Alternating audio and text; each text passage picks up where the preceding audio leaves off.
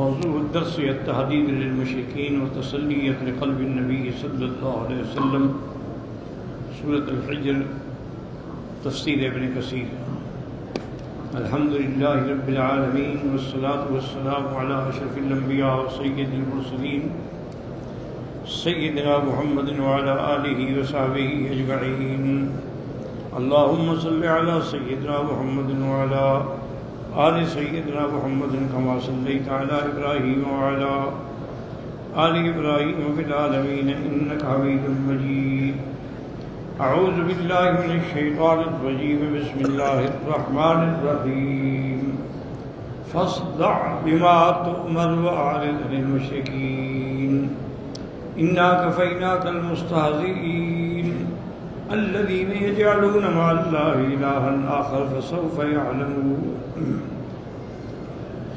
ولقد نعلم أنك يضيق صدرك بما يقولون. فسبح بحمد ربك وكن من الساجدين.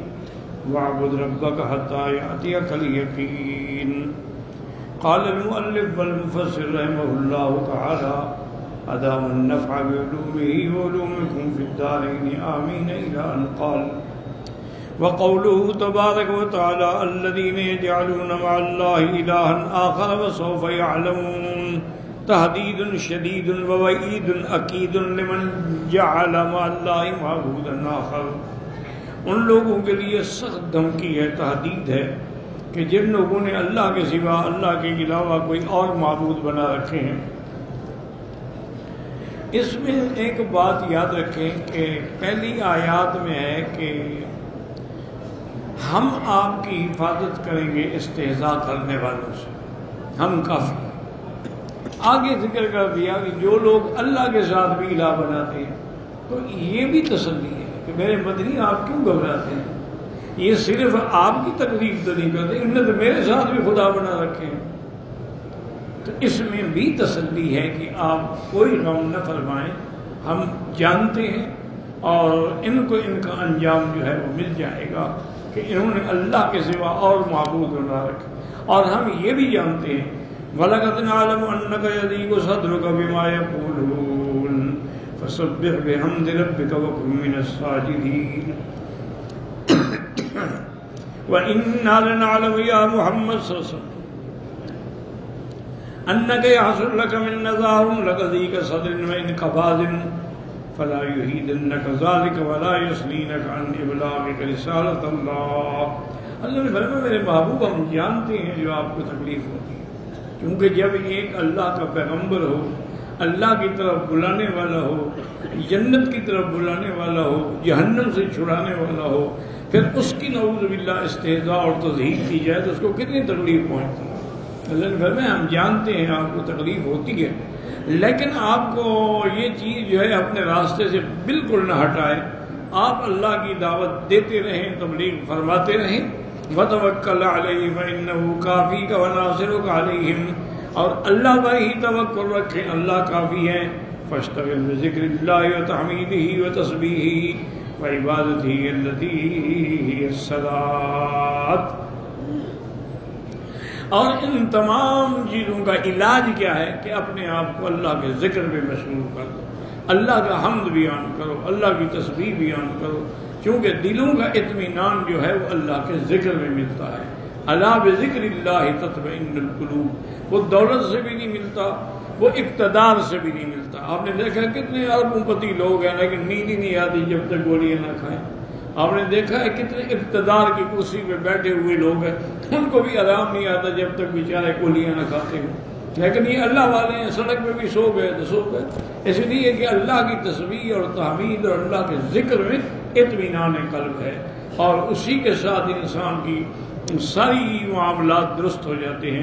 اور سب سے بڑی عبادت کیا ہے؟ نماز۔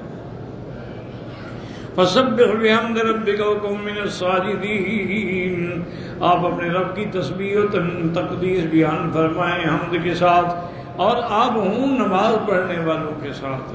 كما جاء في الحديث الذي رواه الإمام أحمد حدثنا عبد الرحمن بن مهدي قال حدثنا معاوية بن صالح أن بالظاهرية عن كثير بن مرة عن نعيم بن أمار أنه سمع رسول الله صلی اللہ علیہ وسلم یقول، قال اللہ تعالی، یا ابن آدم، لا تعجز برکات من اول النهار اکفک آخرہ حضرت نعیم ابن امبار کہتی ہیں کہ میں نے حضور پاک سے سنا، آپ نے فرمایا کہ اے ابن آدم، تم کو چار رکعتیں پڑھنے سے تو عاجز نہ آ جاؤ۔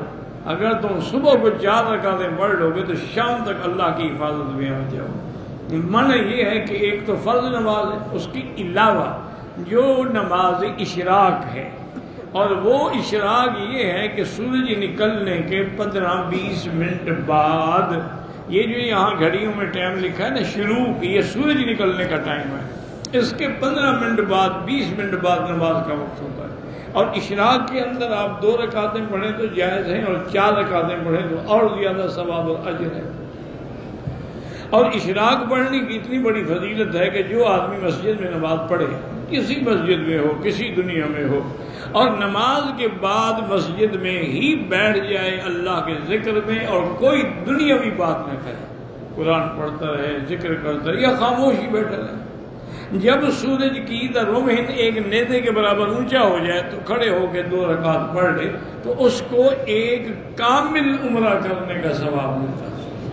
اب آپ اندازہ کریں، آپ عمرے میں جاتے ہیں رام باندھتے ہیں، طواف کرتے ہیں، صفا دوڑتے ہیں، سر مڈاتے ہیں، لیکن صرف دو رکعت پڑھنے سے آپ کو کامل عمرہ مل جاتا ہے۔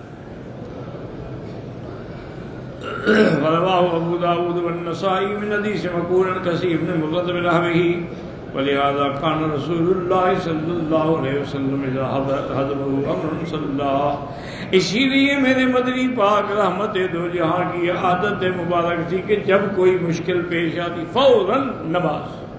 ہر مشکل کا حل جو ہے وہ نماز ہے۔ سورج کو گرہن لگے تو نماز، چاند کو گرہن لگے تو نماز۔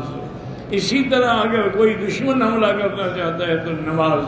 تو نماز ہی انسان کے لیے بہت بڑی ڈھال بن جاتی ہے۔ اللہ نے حکم دیا وعبد ربک حتی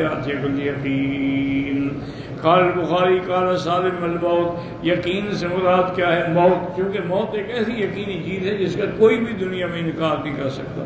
آپ اپنے رب کی عبادت میں رہیں۔ موت تک یہ نہیں ایک دن کر لیا، پھر چھوڑ دیا۔ وسالم هذا هو سالم عبد الله ابن عمر كما قال ابن جرير حدثنا محمد بن بشار، قال حدثنا يحيى بن سعيد، عن سفيان، حدثنا طارق بن عبد الرحمن صالح بن عبد الله. واعبد ربك حتى ياتيك اليقين. قال الموت. يقين سے کیا مراد ہے موت؟ وهكذا قال مجاهد بن حسن وقتال عبد الرحمن بن غيره والدليل على ذلك قوله تعالى اخبارا عن اهل النار. اسی طرح جیسے قرآن پاک میں ہے کہ جہنمی بھی یہ کہیں گے کہ آئے کاش ہم نمازیوں میں نہیں تھے۔ اگر ہم نماز پڑھنے والے ہوتے تو آج ہم بھی جہنم میں نہ ہوتے۔ قالوا لم نکو من المسلین ولم نکو نطعم المسکین۔ نہ تو ہم عبادت بدنی کرتے تھے اور نہ ہی کبھی مسکینوں کو کھانا کھلاتے نہ عبادت بدنی، نہ عبادت مالی۔ وکنہ نخود مال خواہدین اور جو جیسی باتیں کہہ رہا تھا، ہم بھی ان کے ساتھ مل جاتے۔ وکنہ نکذب بیوم الدین اور ہم قیامت کا بھی انکار کرتے تھے کہ کوئی قیامت نہیں، کوئی دنیا کے مرنے فنا ہونے کے بعد دوبارہ کوئی عالم نہیں، حتی اتانا یقین کے موت آ گئی۔ وفي الصحيح من حديث الزهري عن خارجة بن زيد بن سعد عن أم العلاء امرأة من الأنصار أن رسول الله لما دخل على أصبع رسول وقد بات. قالت أم الألا رحمة الله عليك فالصاحب فشهادتي عليك لقد أكرمك الله. فقال رسول ما يدريك أن الله أكرمه فقلت بأبي وأمي يا رسول الله فمن؟ فقال أما هو فقد جاءه اليقين وإني لأرجو له الخير. اس حدیث پاک میں بی بی ام العلا سے روایت ہے، یہ انصاری عورت ہے۔ وہ فرماتی ہیں کہ جب عثمان ابن مضعون فوت ہو گئے، رضی اللہ تعالیٰ عنہ حضور تشریف لیا تو اس کی بیوی جو تھی، وہ کہنے لگی، رحمت اللہ علیہ کا بس صاحب، اللہ کی تجھ پہ رحمت ہو۔ فشہادتی علیک، میں گواہی دیتی ہوں، اللہ تمہیں عزت دیں گے، اللہ تمہیں اکرام دیں گے اگلی دنیا میں بھی۔ حضور نے فرمایا، اللہ کی بندی، تمہیں کیسے پتا ہے کہ اللہ اس کو عزت دیں گے؟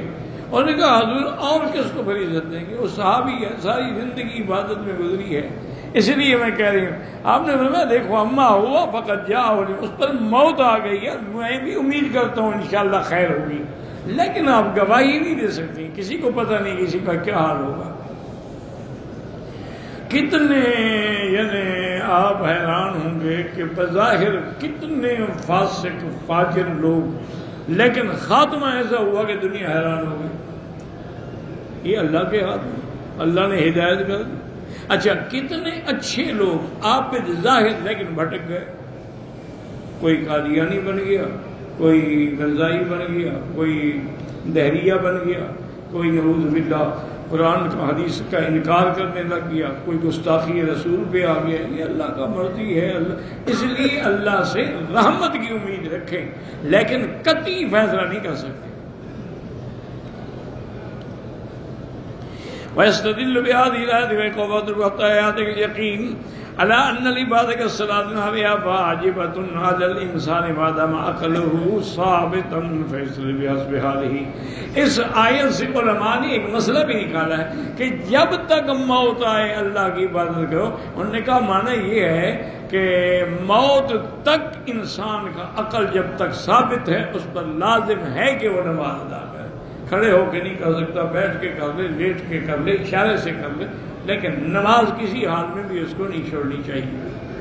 کما سبد صحیح البخاری عمران صلی قال صلی قائما، کھڑے ہو کے پڑھو۔